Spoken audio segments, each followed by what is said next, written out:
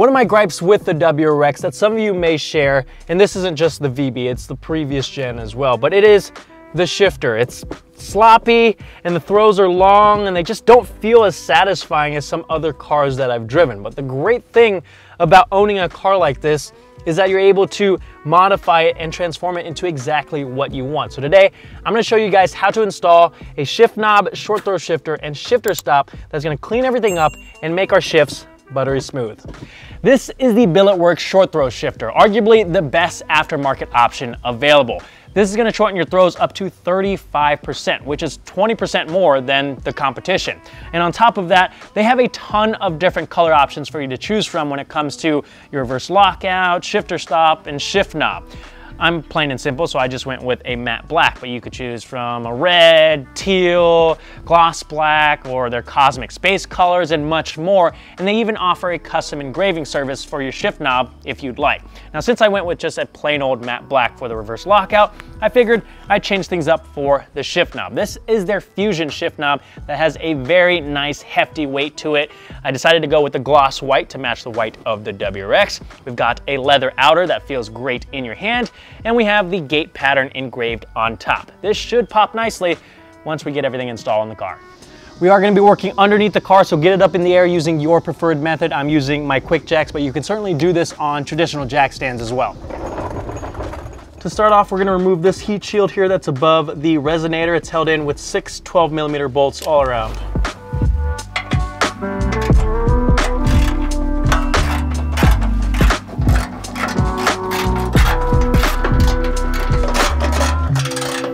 With those bolts removed, all I'm gonna do is grab the heat shield and just move it back all the way I can until it kind of gets stuck right here. And that's gonna give us enough access to the bolts on the shifter assembly. There's four 10 millimeter nuts holding the shifter plate cover in place. Remove those nuts and we can remove the plate.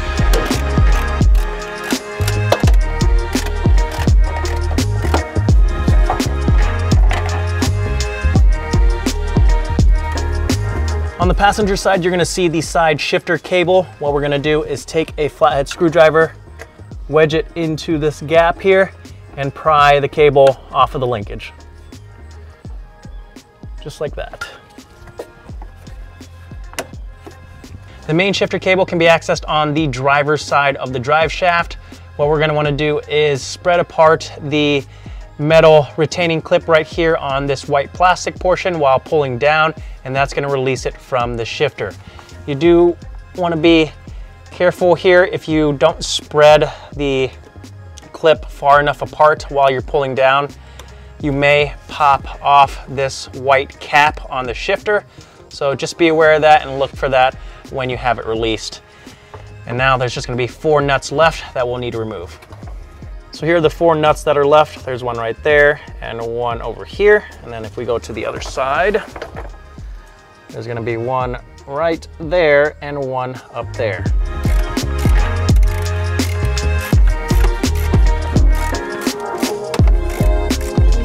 All right, now we can go inside the car.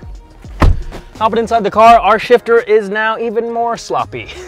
we are going to tear apart the center console a little bit. We'll start by unscrewing the shift knob here.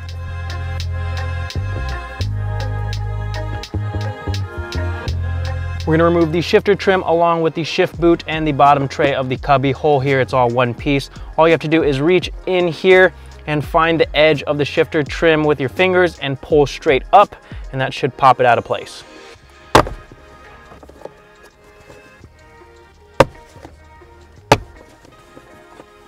And we'll just slide it off of the shifter like so.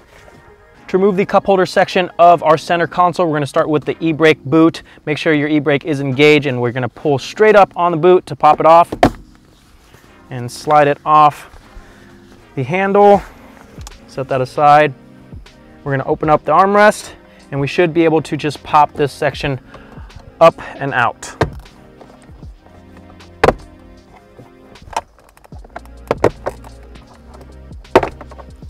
And there we go.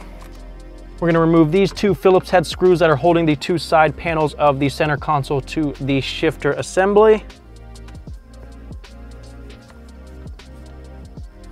On both sides of the shifter assembly, you'll see harnesses clipped into place. There's one right there and one right there. So take some needle nose pliers and unclip those harnesses. There are four 12 millimeter bolts left holding the shifter assembly in place. Two up top here and two on the bottom.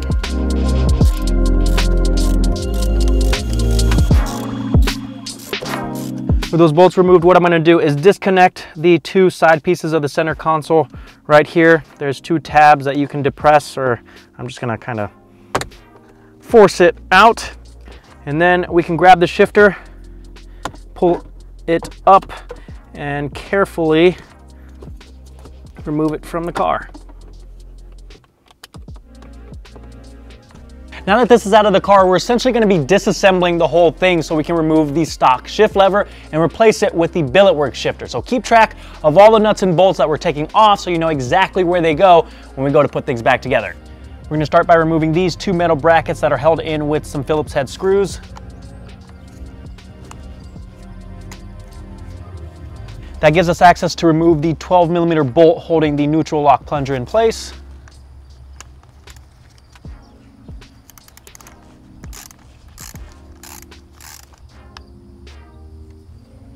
We're gonna flip this around and you're gonna be looking for this 10 millimeter nut on this side and you'll need a 17 millimeter wrench on the other side to hold the bolt in place while we remove this nut.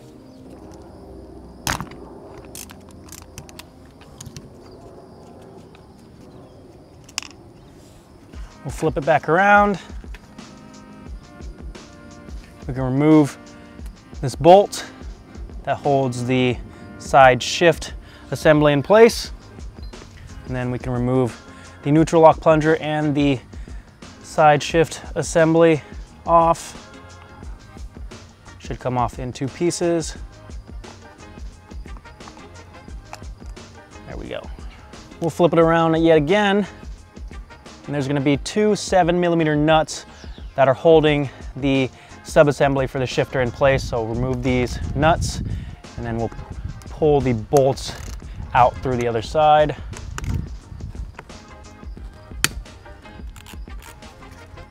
These are fairly small, so I don't want to lose them, so I'm going to put them back on the bolt. Now you should be able to pull the sub-assembly out of the plastic housing. There's two more 10 millimeter nuts on the bottom of this assembly that we're gonna remove. Now we can slide this cover off and we can pop out this white portion with the O-ring as well. And we need to remove this O-ring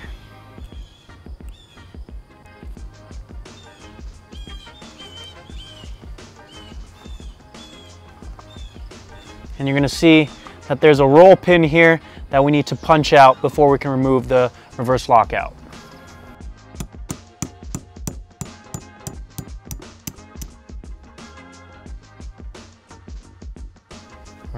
We can slide out reverse lockout as well as the shift lever from the subassembly. Now we can disassemble our new billet work short throw shifter to get it ready for installation. There's gonna be two screws on either side of the reverse lockout that we'll need to remove with a 3 seconds Allen key.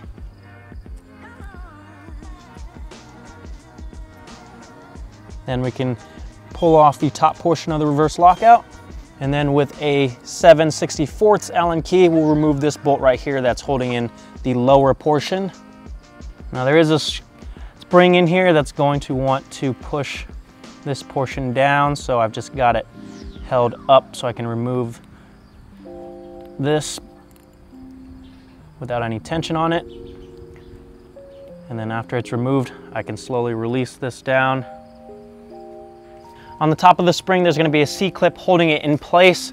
So I've got some C-clip pliers here to remove that.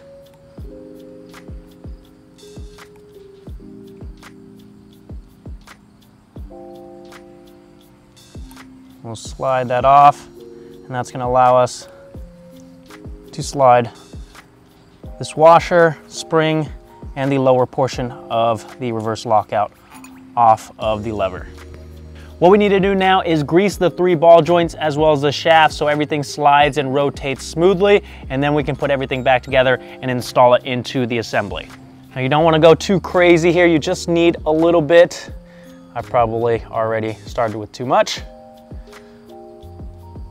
but we'll wipe off the excess. For reassembly, you're gonna wanna pop off the white cap that was on the bottom ball joint of the OEM shifter and transfer it over to the new one. There we go. With everything greased, now it's just a matter of putting it all back together. So we're gonna slide the new shift lever into the sub-assembly.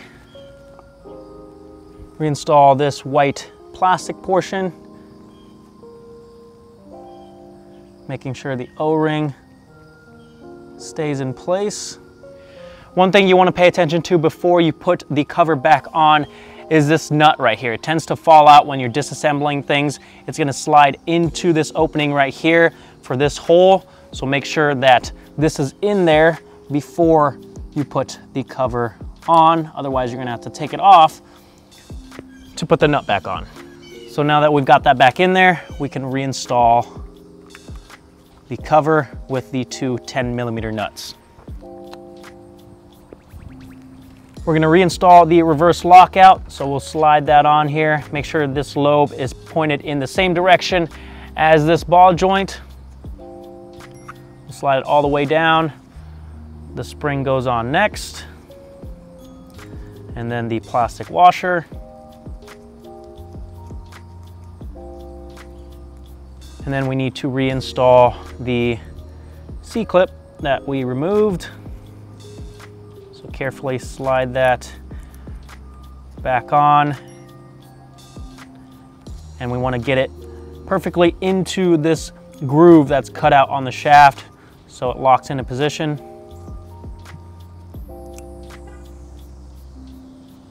And now I'm gonna flip this on this side. I'm gonna take two of my fingers, pull up on that reverse lockout and brace my hand on top of the shift lever and reinstall the bolt. And now the top portion of the reverse lockout can slide on.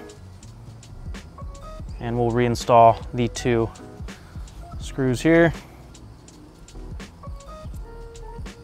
We can slide the sub-assembly back into the shifter housing and we'll reinstall the two long bolts that go across the top.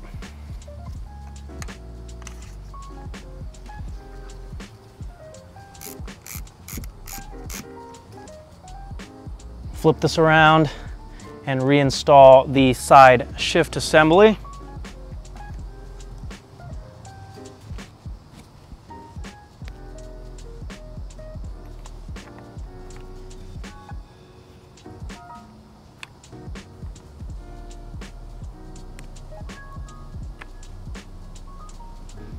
Reinstall the 12 millimeter bolt for the neutral lock plunger. We'll flip this around once again to install the nut on the back side. Don't forget to reinstall the two brackets that we took off at the beginning. We're gonna give the reverse lockout a quick wipe down because I'm pretty sure you're gonna have some grease on there. But now this thing is ready to be reinstalled in the car. If you guys have made it this far, I'm gonna assume that you know what you're doing, hopefully, and that you can reinstall your shifter assembly without my guidance. I'm gonna do that real quick and I wanna show you a comparison between the stock shifter and our new Billet work shifter. And then I can show you how to install the shifter stop and new shift knob. And then finally, we can go test this thing out.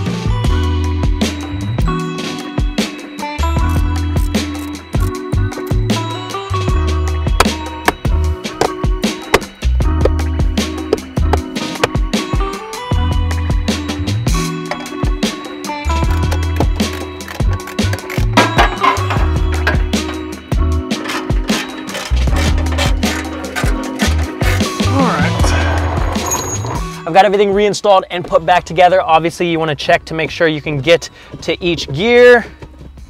We'll check reverse. That's all good. I did take some photos with a GoPro that's been set up in the exact same location this whole time of the stock shifter and the new Billetworkz shifter in third and fourth gear to give you guys a visual of the difference. Like I said, the Billetworkz shifter is gonna shorten the throws up to 35% and I can already see the difference, but I do notice there's still some slop in first and second gear. So let's go ahead and install the shifter stop and our new shift knob, and then we can take this out for a drive. Let me show you guys the sloppiness that we're gonna get rid of in first and second gear by installing the shifter stop. So if we shift to first, look at how much movement there still is, even though we're in gear. Same thing in second, it's not as bad, but it's still there. It's super easy to install once you have the shifter trim removed. It's just these two 10 millimeter bolts that are holding in the reverse lockout that we need to remove.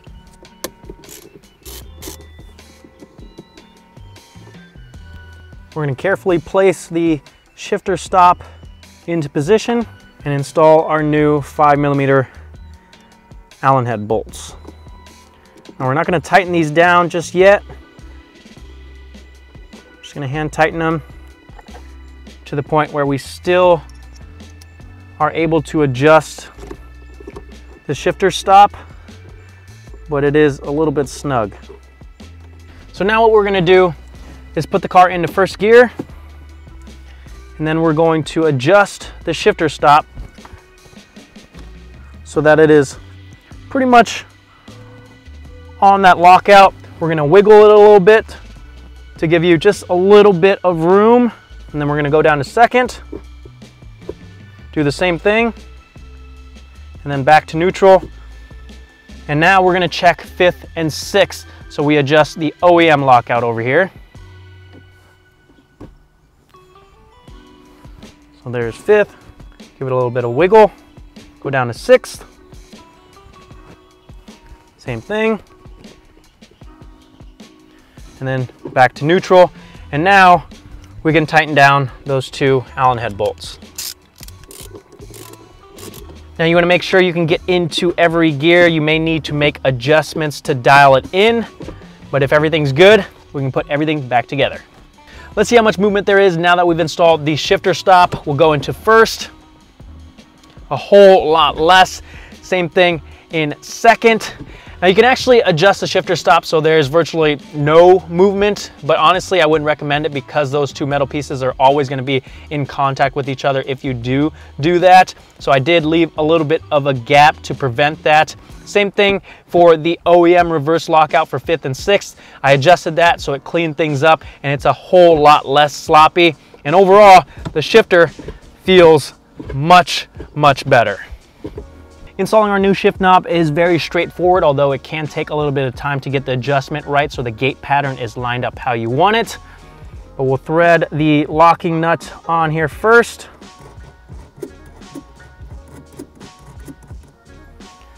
And then thread on the adapter. We're gonna grab a 19 and 17 millimeter wrench and lock these two together. Don't forget to do this before you thread on the shift knob, otherwise you may need to fish out the adapter from your shift knob and that's not very fun. So now we'll thread this on there and it's very likely that, like I said, the gate pattern is not gonna be clocked how you want it. Ours is a little bit too far to the right. So I'm gonna take this back off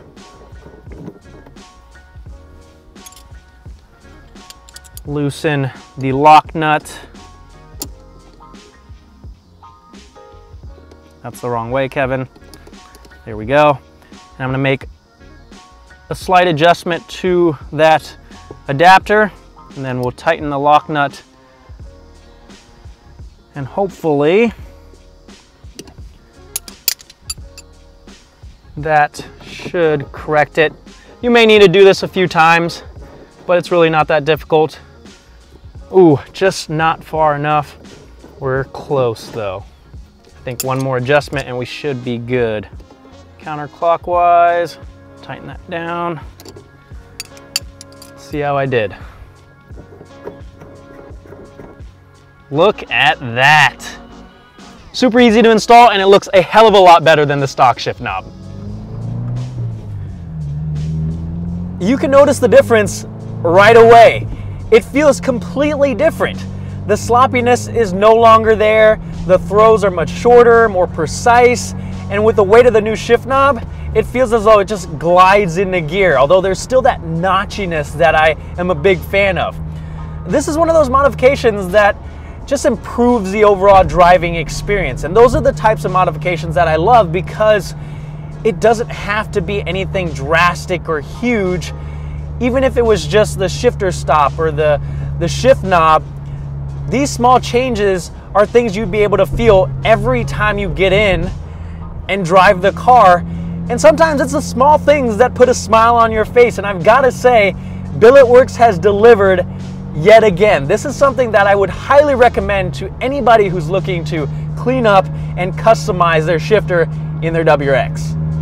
And there you go guys, it's certainly a tedious install, not necessarily difficult, but there's a lot of small steps that go into it. Realistically, this should take you around three to four hours, maybe a little bit longer if you're taking your time.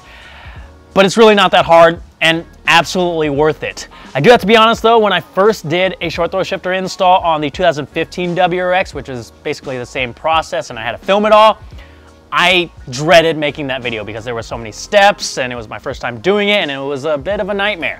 But this time around, I can say that I actually enjoyed the whole process. Maybe because it was working on my own car, but either way, if you guys are wanting to pick up one of these for yourself, whether it's the short throw shifter, the shifter stop, or the shift knob, all the links are down in the description. We've actually got some other Billetworkz products that we're gonna be installing on the WRX to make the shifter feel even better, but I'm gonna cover those in another video. Hopefully you guys are enjoying the content. If you are, make sure you hit that subscribe button, give this video a thumbs up. Thank you guys so much for watching, and I'll see you guys next time.